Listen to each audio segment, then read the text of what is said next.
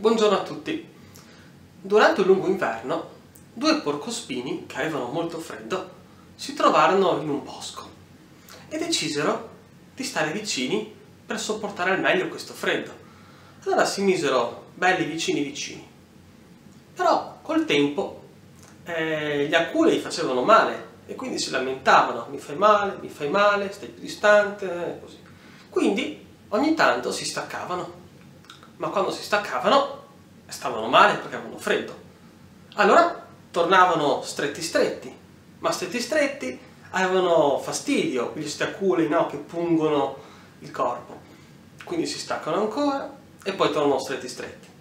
Fino a che un giorno, da, da lontani lontani, trovano una posizione migliore che permette loro di provare il calore reciproco, ma anche di non pungersi. Questa è un po' una metafora della condizione umana, secondo me. Come esseri umani abbiamo bisogno della relazione con gli altri, così come di mantenere la nostra individualità.